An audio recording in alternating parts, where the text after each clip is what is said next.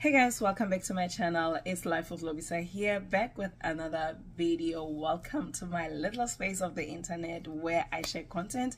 If you are new here my name is lobisa Jawa. i'm a south african living in the united states. I share live content here on this platform. So please kindly subscribe to my channel if you have not and make sure the bell is on. Hit that like button anytime you exit the video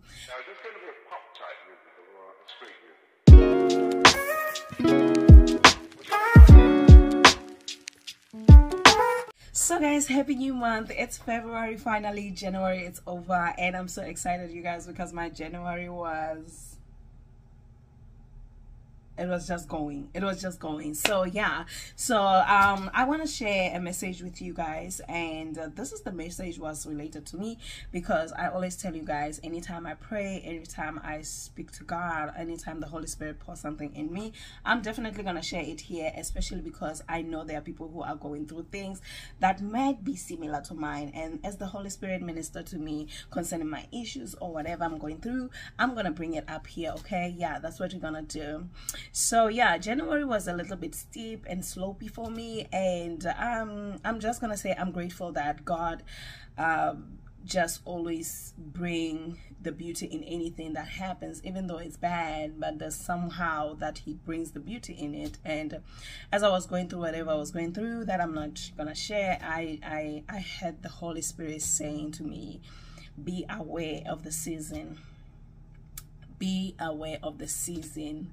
And to me it was like oh wow. Okay holy spirit. All right. I hear you.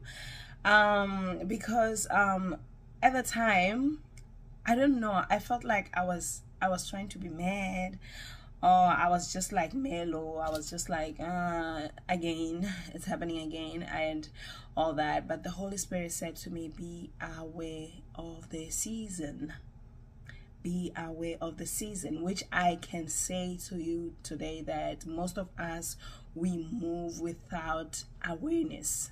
We move without awareness. We always think think things have to always be flourishing. We always think that everything has to always be in a perfect place. Everything still has to work the way we want it to. As much as the Bible say everything works together for our own good, even the predicament, even the bad, the, the, the beautiful, the cute, you know it works together for our good. So sometimes when we go through challenges we feel like that is not of god. Honey it is definitely of god. Because remember job he had to go through it and it is because god said you can go ahead devil. Go and check him out. Go and check him out. So as I was thinking about it and the Holy Spirit was pouring this into me, I had to write it down. You know me, I'm going to write it down. Why should we we be aware of the seasons? Why should we be aware of the seasons? The enemy use seasons to trigger anger, to trigger frustration, to trigger stress, to trigger um, anxiety, to trigger mental health, honey. The enemy uses that. But when we are aware being aware is a weapon for us. Being aware of the season is the weapon for us. You know that the season of the year, which is summer, spring, winter, and fall, you know how to dress for all that. So in life, we have the dress code for every season. There are seasons that require prayer.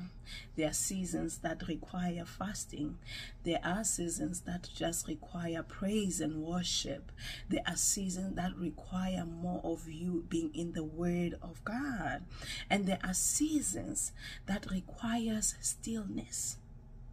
Stillness meaning that shush and look up to the hills where your help come from so as I was thinking about it, I just said, you know what, Lord, I want to share this with my people.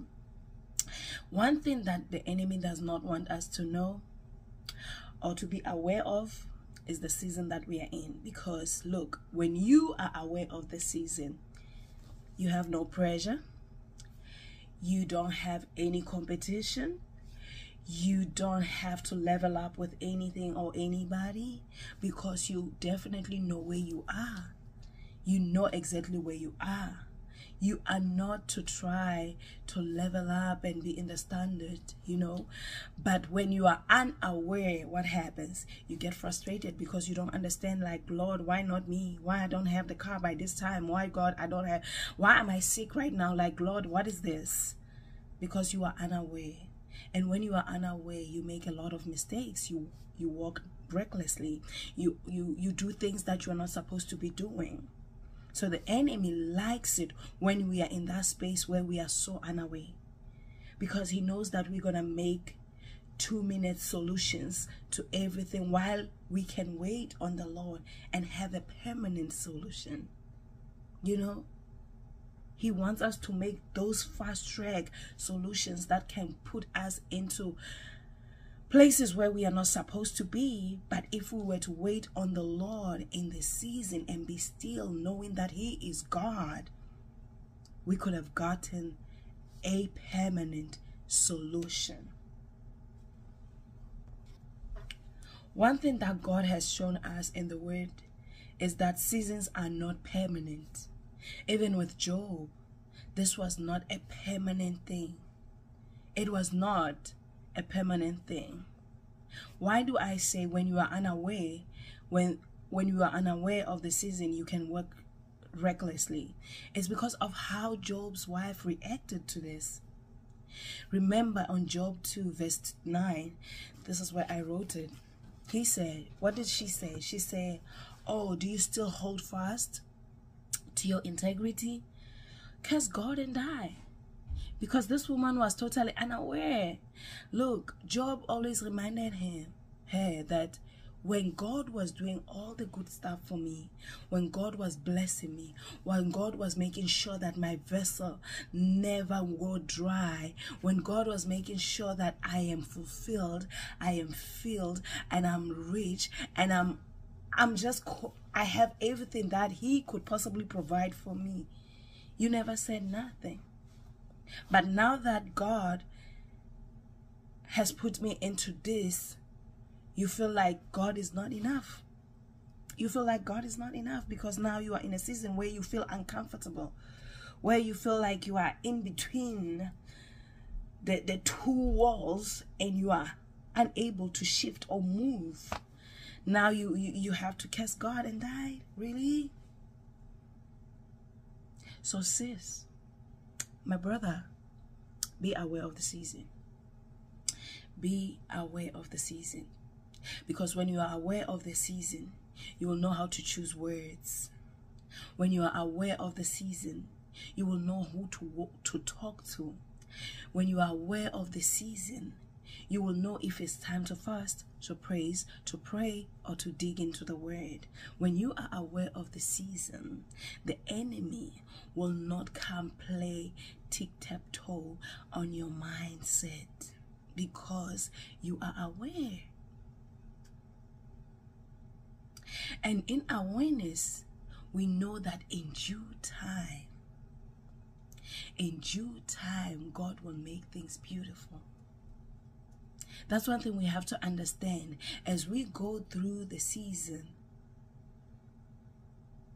As we go through the season, we have to always have our mind on the prize.